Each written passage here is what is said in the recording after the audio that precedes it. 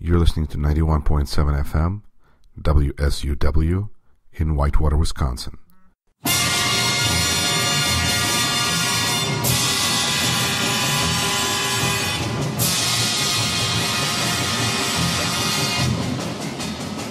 You're listening to Rashkin Report.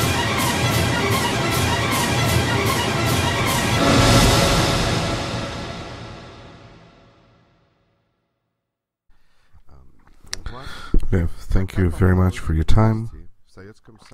How did you manage to grow up in the Soviet Union and to remain, to honestly be speaking, a decent person who continues to improve life for those around them? In the Soviet Union, millions were raised there of decent people that kept their personal dignity and sense of freedom and respect for people, and I do not consider that I am all that outstanding, and or consider the fact that in the Soviet Union grew up people that can be respected. I do not see anything in this of uh, of anything unique. I don't think anything is unique here. Very well.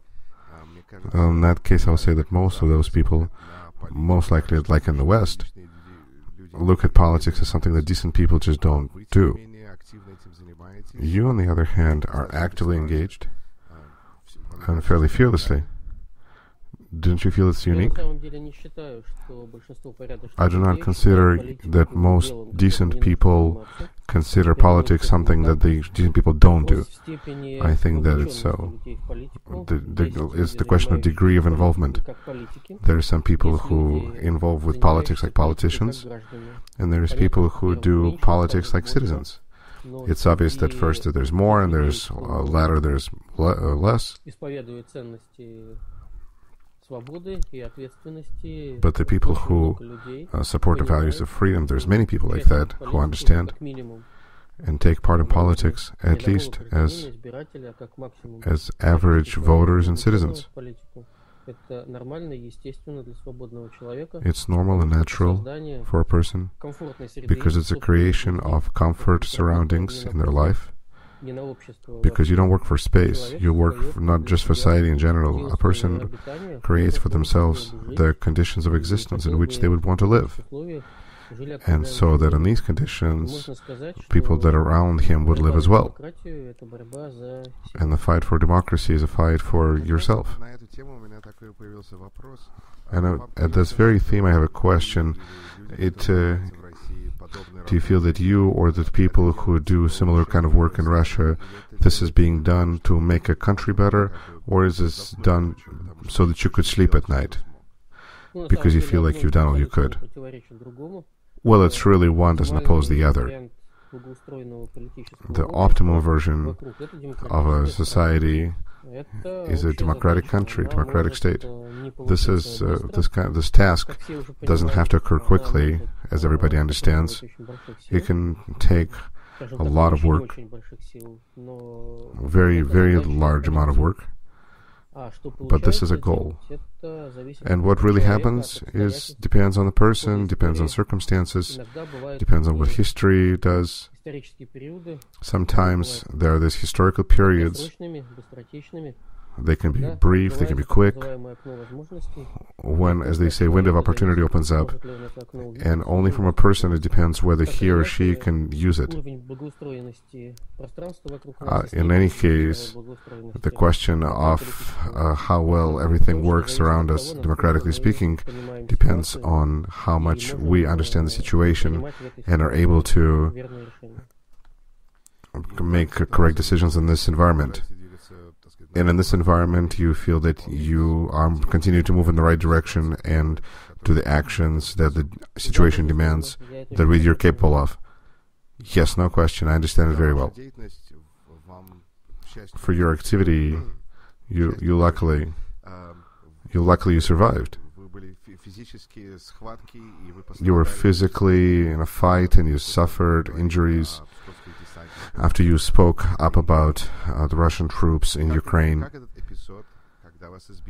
How did this episode of your beatings and your survival, how did that affect your feeling about that which you would want to do, meaning politics or improving the situation of Russia in general? it didn't affect that at all of my activity because I'm I sufficiently understand the situation of the general risk that relates to everyone in Russia who tries to do democratic work. During Russian-Ukrainian war, this touched all journalists who came to Pskov uh, to cover these events, and they were they were risking in a very risky situation. We were all helping each other. Nothing happened that could have been changed. My intent to do what we do, simply there's a new understanding which most naturally appeared that for the work that we do, there could be uh, there can be a response and it can be forceful. We always understood that when we deal with politics. Well, not everyone gets persuaded. I, I was personally experienced it, but I can say for sure that we did not have let's say, not in our family, not inside of our thoughts, there was never a question of stopping the work. This, this thought did not occur. Um, Mr. Belkovsky, news analyst Belkovsky, made an announcement that he is envious of Boris Nemtsov because Boris Nemtsov exited this life in such a bright way. Do what you, what are your thoughts about this? You know, first I wouldn't be quoting Belkovsky because I don't think it's a very sincere quote. I doubt that he's envious. I really do. I don't think it's that so. Besides a person that participated in many specific, notorious political and ideological projects during which democracy was harmed pretty directly barely has any э, standing to speak of the name of the people for the person who died and very obvious was killed for his convictions for his views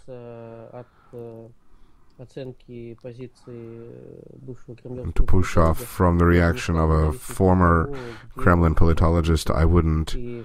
I don't care where he works now and what he says now. I don't understand the situation at all where there's an envious of a dead person. I think that, that there's something unnatural about this. There's definitely something unnatural about this. And perhaps I was using this expression to, as you said, Boris Nemtsov was uh, killed for for that for which he believed. You continue to also do that which you believe in. Do you look at the final outcome, or do you just look at what needs to be done and then things will take care of themselves? Well, first, everything that is being done is being done consciously there is no things that happen accidentally, and the final outcome is a horizon which continues to be moved further and further. And a person evaluates their strength and hopefully moves in the right direction. How far he will go and how far he will reach in this road is an open question. It's impossible to put a task from point A to point B and then get to the point B and then say that the work is done Usually, the movement continues continuously, and it's important that the person was sure in that he is doing what he wants to do, and all of this being done voluntarily, on out of personal reasons, not being forced, not by by people, by circumstances, other things, and this allows to to remain in internal balance and harmonious existence within yourself. I do not see this dependent on whether the goal is reachable or not today, tomorrow, or the next day. It may be global. It may be unreachable within one human life. But that doesn't mean that this road shouldn't be walked. So you're like part of the play, and the play will continue. Well, I'm, I'll honestly tell you, I'm not prepared to compare life with uh, playwriting because uh, art is, speaks of life, but it's a different genre. That's stage. When there's people on stage and there's people in the audience.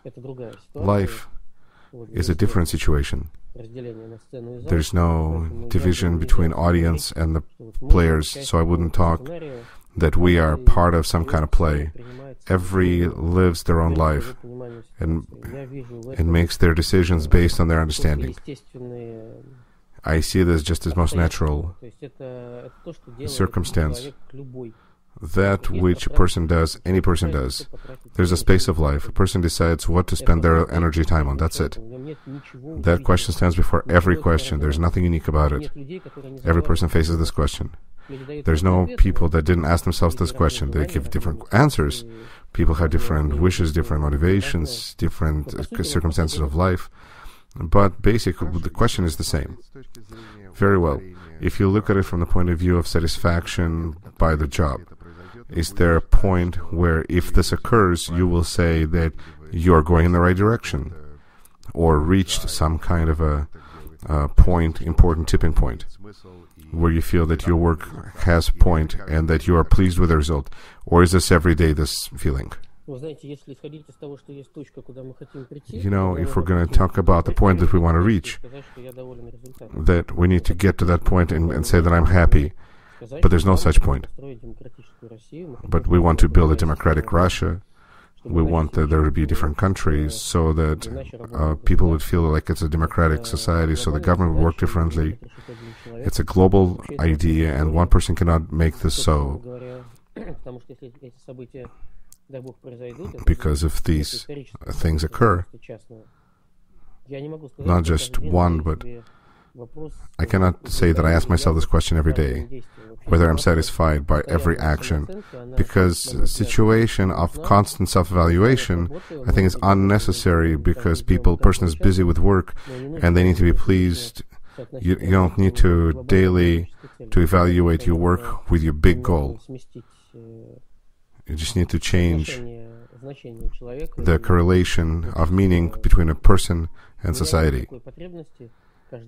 I do not have this need to every day correlate what was done today with the scale of the overall goal. There's life, there's work.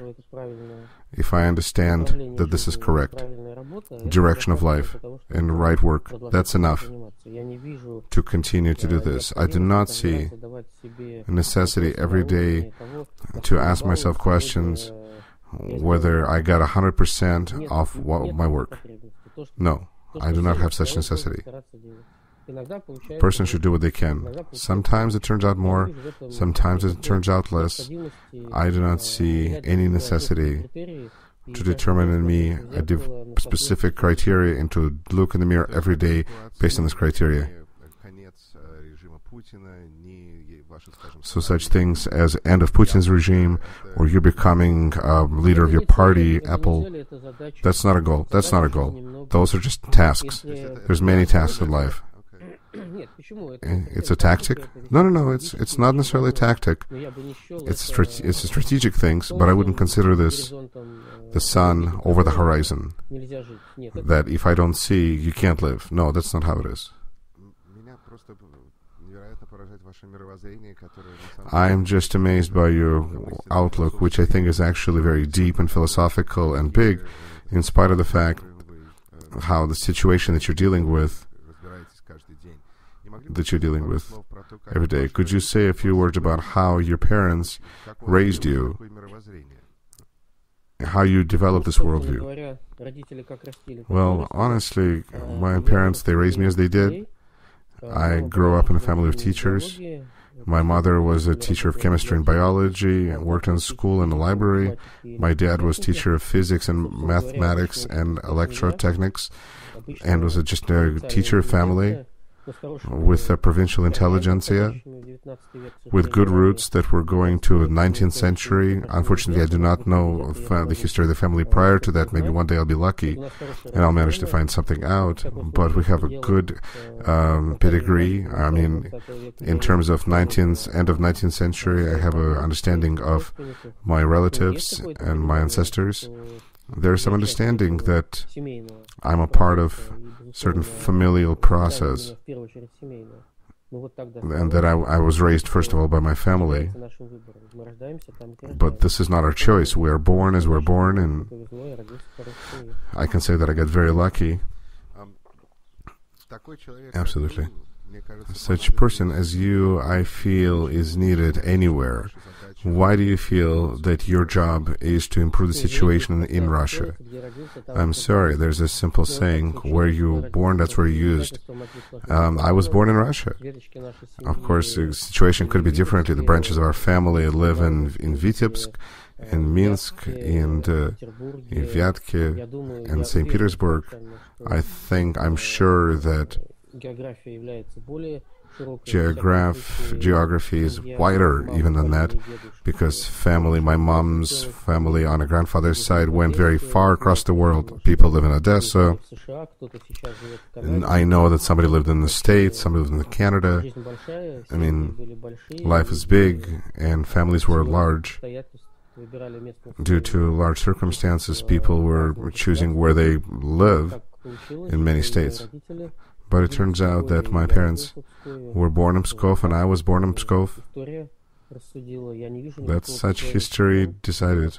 I don't see any inconsistency that I can live and work in Pskov. For me, it's very natural. Very well. Lev, uh, there's a lot of conversations now that opposition in Russia should unite in one powerful force, in one force, and it will probably through your party of Apple how is this process moving forward? What are your thoughts about this? And basically, is there a situation in Russia, the official opposition, and how real is it though? Well, you know, the official opposition term is unclear to me because opposition is such political force that fights for power. How can it be official or unofficial? I don't know. It's not like uh, in Great Britain you have Her Majesty's opposition and people sit in parliament and swear at each other. In Russia there's a difficult, different political system and I wouldn't compare that situation. There's understanding that uh, democratic political forces are not united and not single and first because not how they view political events. Uh, most uh, of it is post-Soviet time period but even events of Soviet period, I think that the level of contact between political parties, democratic political parties between themselves as of today is uh, satisfactory and but I can't show uh, with certainty that the next election will be strong enough for a wide coalition. In any case, from January, since January, I've been leading these negotiations with Democratic parties, and because of ethics requirements, I cannot share any details with you or personal impressions except most common ones. But I can say that the work and negotiations with politicians that are in the part, will become part of Apple Yabloko are going much easier than conversations with uh, specifically Parnas, a party of Alexei Navalny, because everywhere people got their ambitions and leaders want to keep their status. And besides that, uh, it's not just about leaders. Every political leader has a team, and it's very fair that people think about their team I personally think that a creation of a, at least a single list uh, for the upcoming elections will have a huge impact on this country. But I see that our electors are not in a in a joint uh, thought on this question either. I know electors who are, don't want to of uh, Parnas who don't want to merge with Apple. I know uh, voters of Par- Yabloko, Apple that don't want to merge with Parnas. Naturally, therefore, if there is a uniting of the parties, even at the elections for the state parliament, Duma, then I think that uh, as basis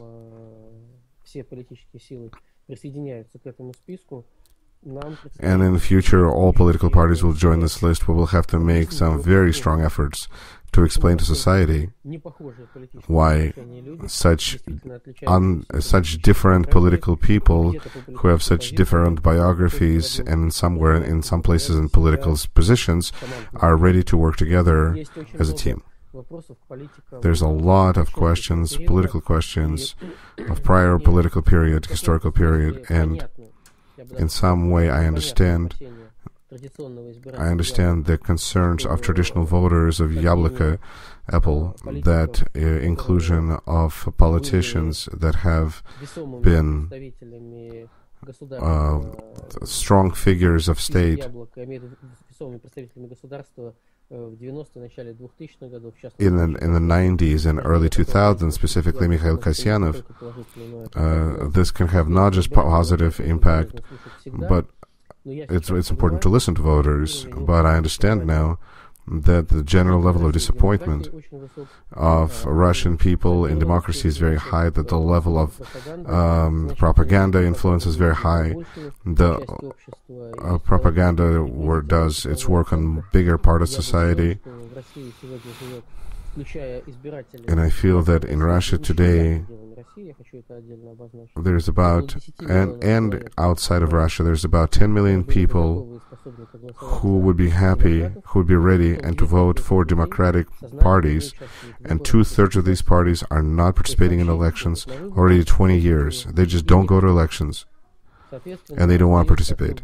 So naturally, there's about three to four million dollars who million people who are voting. You can have two parties, you can have five parties, um, but the level of democratically minded voters remains the same, about three to four million people. It's and so the question stands: How do you explain to these people that are ready to go and vote? That they that they need to vote for one political team. If this turns out, then the situation in the country changes. Then there is a democratic choice to this madness that is occurring in our Russia, in our, in our country right now. There's opportunity to formulate an alternative to the state policy because we would be part of state power. Of course, we wouldn't be able to be a lawmaking party because there's number requirements. At least 220 people have to vote for a law, but at least we can represent, and um, we can also get elected in regional parliaments and other parliaments, and we can. So we're do. So we want to be sure that their voice is being heard through us and this will balance out the situation in the country and at least can help uh, some kind of a dire development. Today, it's a very important job to create this parliament list. And we need to join our efforts to move forward. And so the politicians and parties need to walk towards each other. Everyone needs to do part of their job and walk a part of their way. And from this desire to walk towards each other, there is no such thing. Those that are conducting negotiations, seeing that negotiations are going very difficult, and I have no ability to promise to anybody that they will be successful. Lev to just to share American experience from a democratic country, Democratic Party. As you know, there's two candidates. Bernie Sanders is very different from Hillary Clinton, but in the end, whichever one of them will win the primaries, everybody understands how important it is for all of them that were either supporting or Bernie or Hillary to unite, because on the other hand, will most on the other side will be most likely uh, Trump or Cruz, who also scares people. Such option obviously is not possible in Russia because people under, when people understand that they need to unite and vote. Is this because of propaganda or what?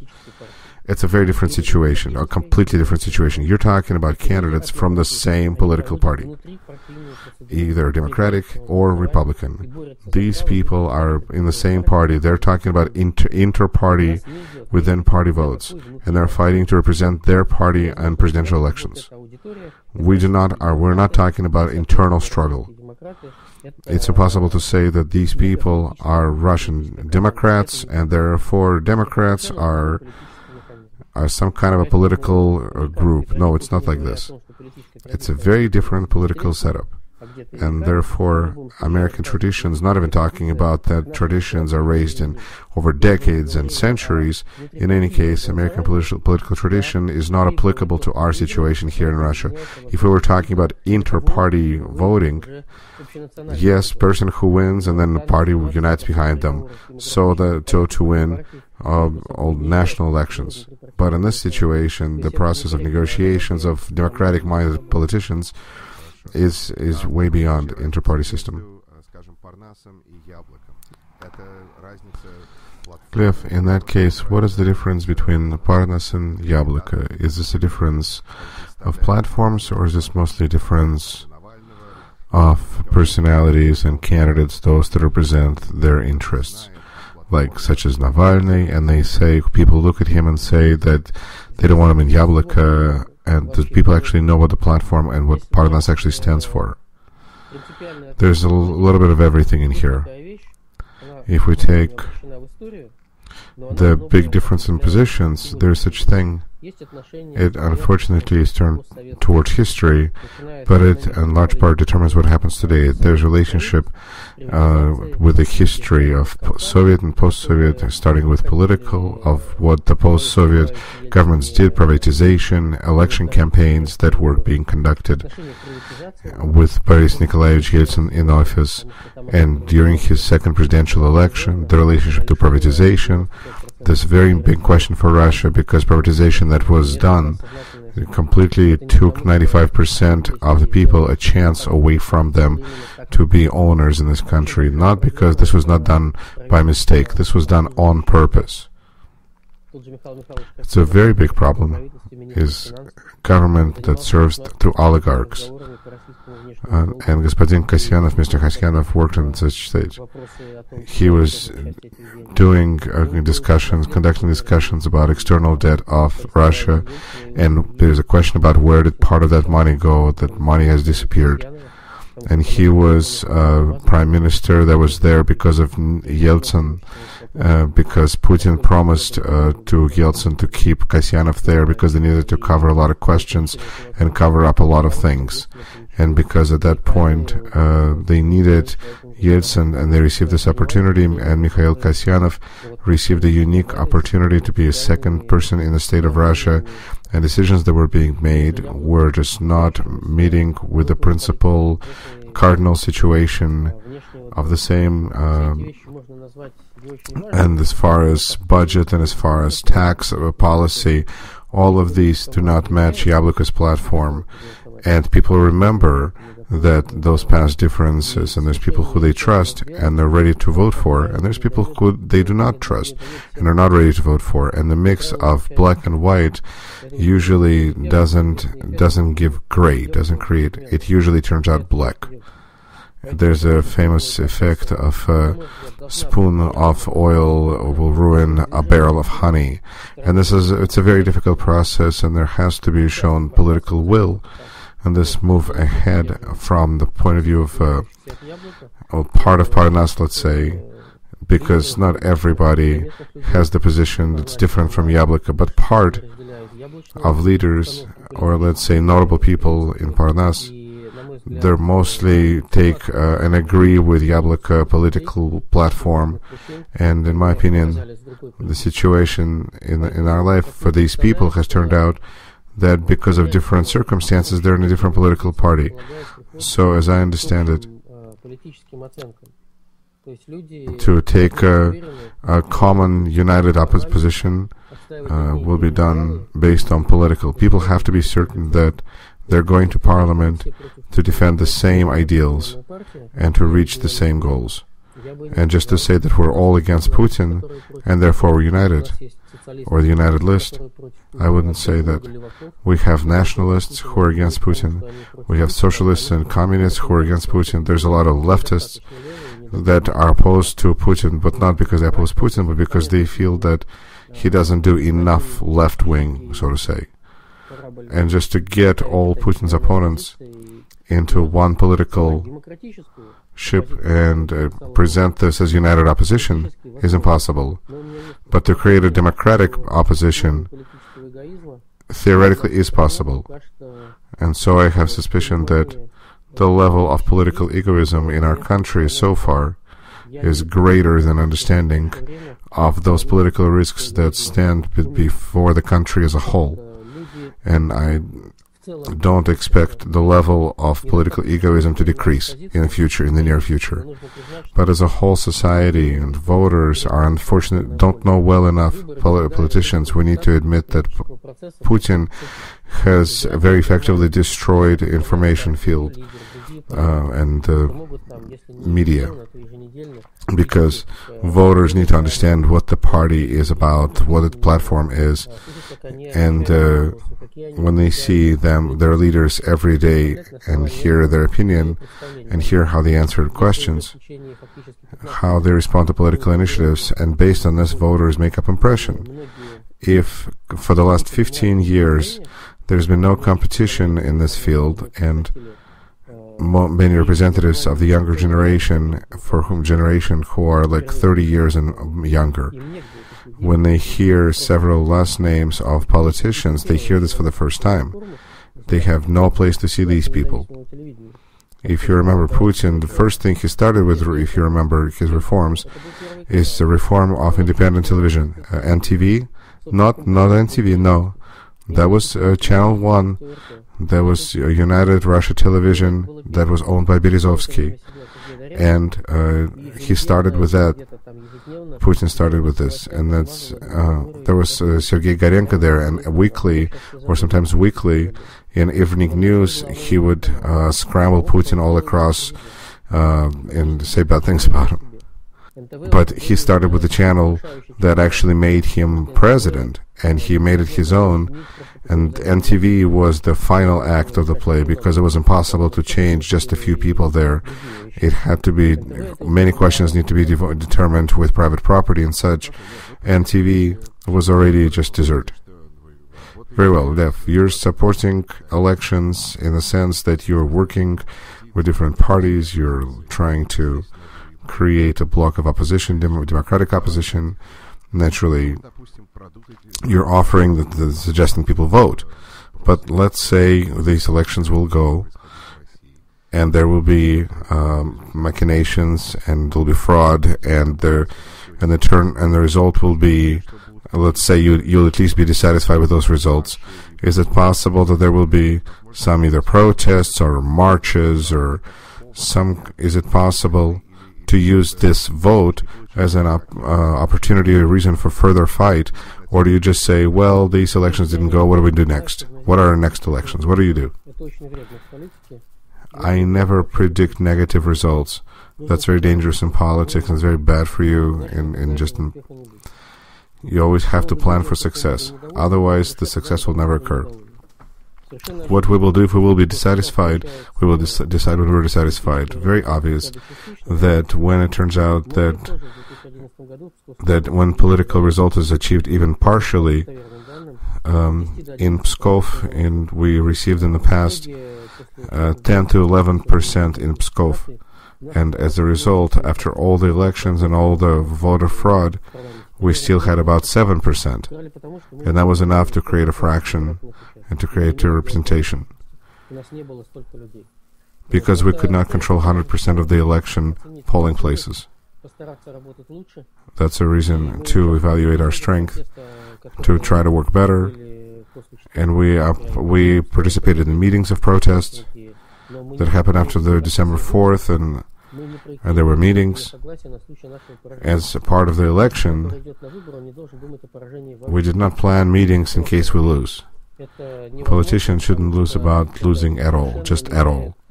It's impossible because it completely changes the mood, completely changes the readiness of the team to work. If yeah, I'm not arguing with you at all. There's there's programming of result. If you predict result, if you predict outcome, it will happen. I I can't argue with you. As a, as a person who has been elected and probably will be elected, I'm. I, you have to believe in your success. But I just feel that elections in Russia, it's it's not a goal; it's part of the process because it's expected there will be voter fraud. It's you have to consider this part of the process. What will be after that? But I see that you're saying the main thing is to win the election when we have to you you are just dividing a practical question. There can't be. This is not a goal. Election is not. The goal is to change life, to build a different state. That's a goal. Election is a task, kind of a technical task. It shouldn't be taken as a governing question and it cannot be decided at the same time as predicting a loss. If you're predicting, either you're predicting victory or loss, and your reaction to it, to combine these two is um, very dangerous, harmful. Lev, is it possible that you will become president of Russia? No, it depends. It depends on the citizens of Russia. So it's a political question. It's a political answer. What can be done so there will be people who will be fearlessly do politics in Russia and could have hope? You you talked about the idea of enlightenment. How much do you think that could be possible? No one idea can help the situation, solve the situation. Enlightenment is a must task for democratic politicians, but it's important to win. It's important to win regional federal elections. It's important to participate in public sphere. Then there's when there's example, then there's those who will follow the leader. It's very natural process. The more we will have victories, the more there's a chance that we will have people going next to us. It's interdependent. So victory grows to victory and defeat leads to defeat. Thank you for the conversation. You're absolutely not afraid to disagree, not with the host, not with, with whoever you're doing are uh, talking to, but you're doing it calmly and we're getting well the job as politi- uh, politician is to, in understandable language, to explain to people so that people could make good, informed vote. We have to, all of our representatives of political class, we have to openly explain what we're and what we're about, and not because it can change necessarily because of people, views of people, but because it's important to us that the society that supports us, first of all, a society understood us, and and then there will be a good turnout of people. If people will not understand this, then it's possible to derail them and to distract them. But if you have this, the, the relationship between a politician and society relies a lot on the openness of position and understanding by the people of what is the person they're voting for, what is he doing. Upon creation of this understanding, a politician is stable and steady because uh, this person relies on conscious supporters, not those that are sympathetic to him, but those that understand what he does and why. It's the most important thing in politics. This is what's called victorious citizen. Um, convicted citizen.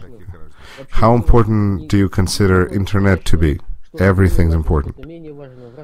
It's impossible to say that what is something is more important or less important in different situations. There's different circumstances when it is not possible to communicate with people through TV. It just not doesn't exist. Then internet becomes a very significant part of a political communication, and many events occur on the internet, and people communicate and discuss these events in internet. Influence on internet grows in front of our eyes. I mean, it's but that's everywhere. It's not just in Russia. That's in the whole world. Just 25, 30 years ago, we we used one uh, one set of methods, and now we uh, all people are informed. We're now Homo informaticus.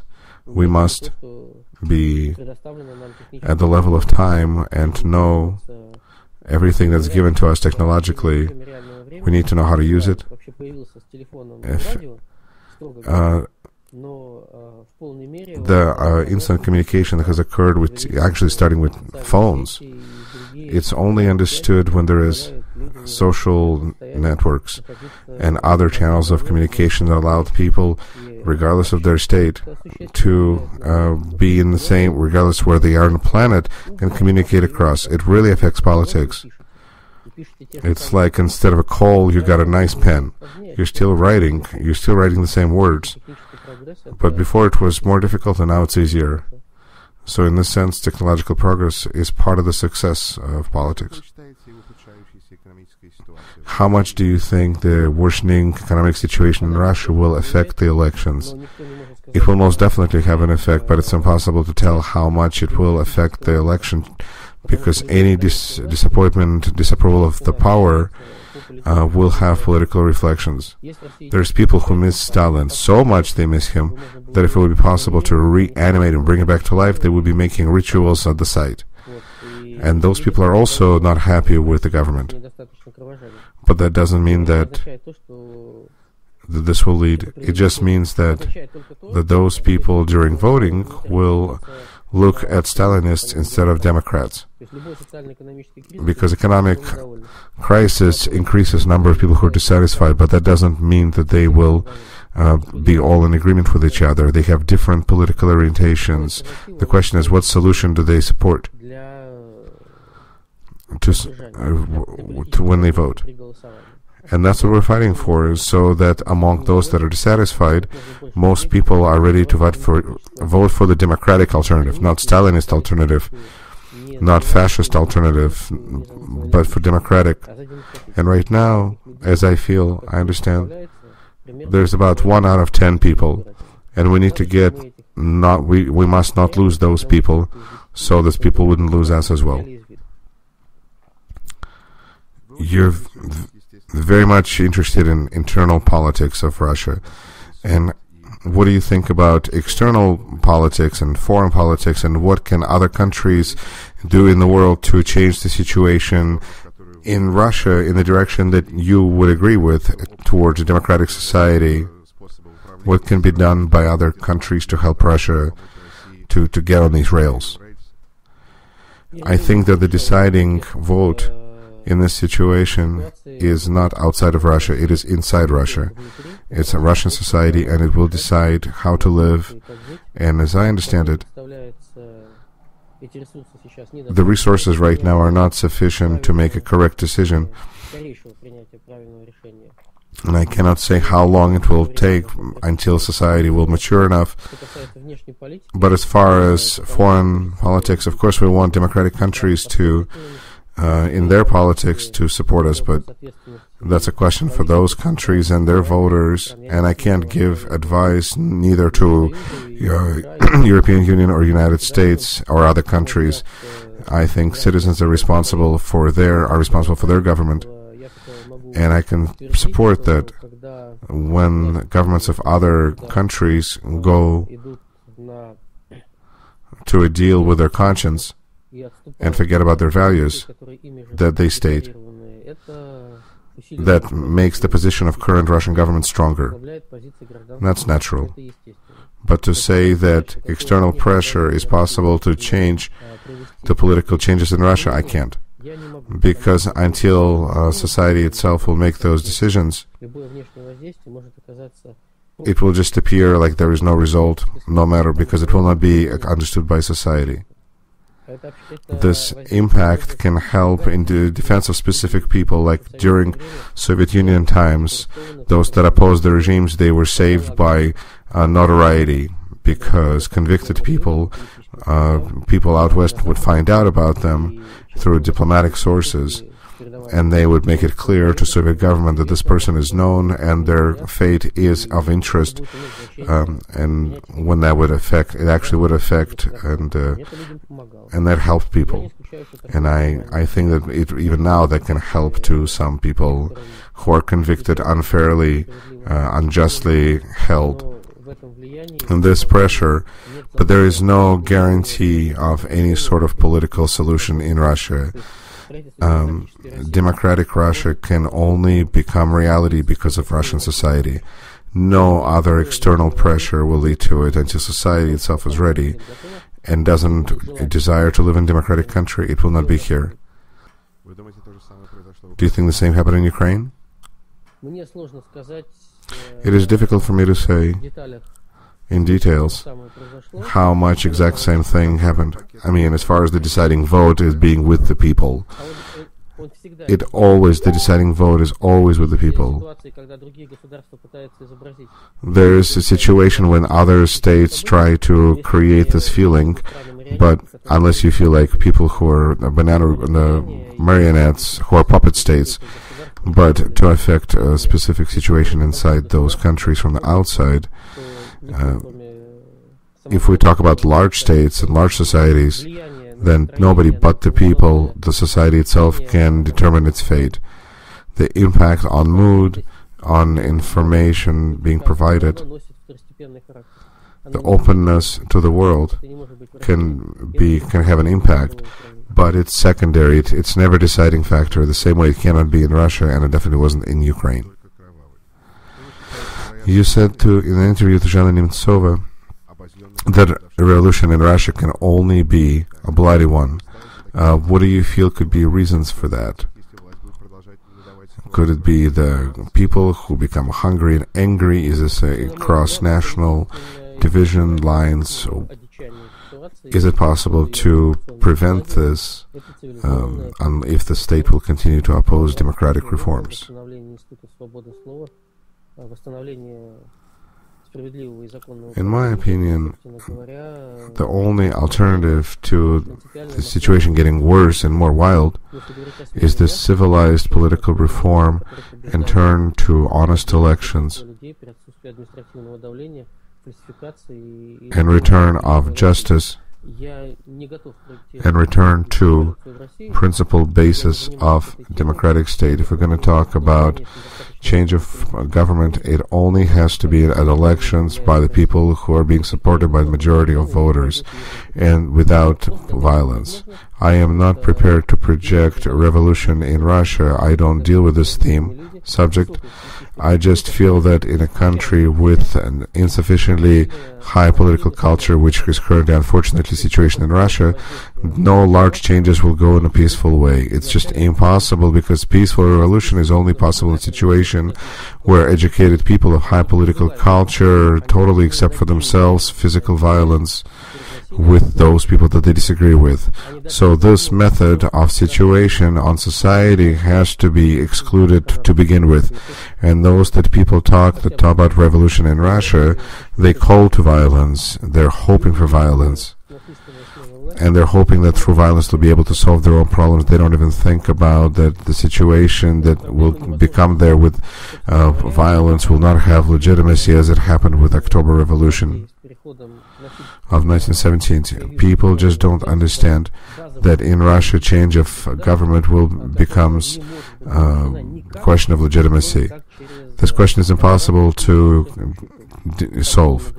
I mean, any any forceful removal of government in Russia creates a base problem of legitimacy, which cannot be decided in no way in any other way except through return to some prior point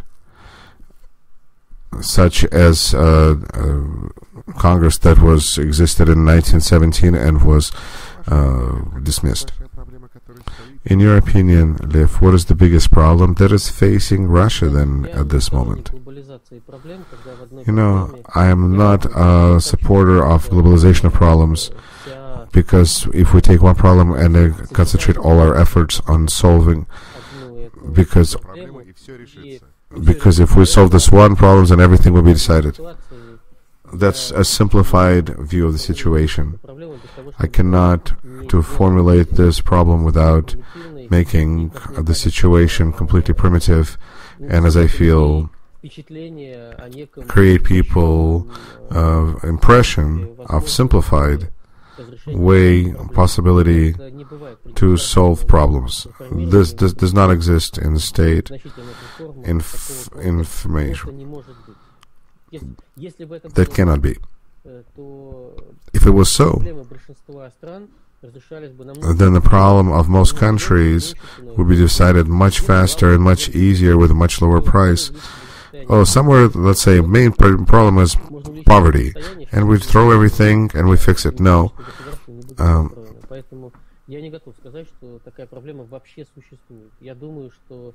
I am so I'm not prepared to say that such uh, issues and such one problem can exist at all.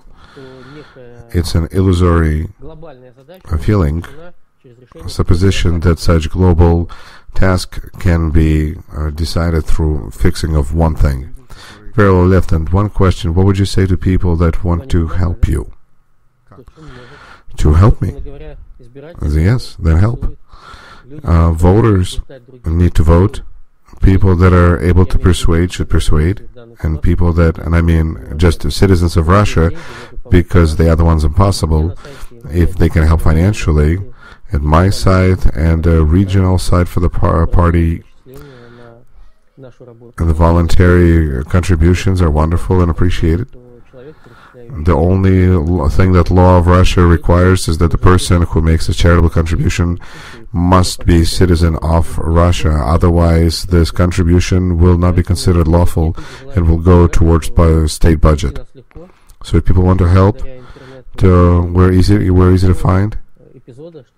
And there wasn't such a case when people wanted to help and we and that couldn't help. If you want to help, we'll find a way. Thank you so much, Lev. Good luck to you, and I hope that we'll be able con- to continue this conversation in the future. Very well. Thank you very much. Take care. You're listening to 91.7 FM, WSUW, in Whitewater, Wisconsin.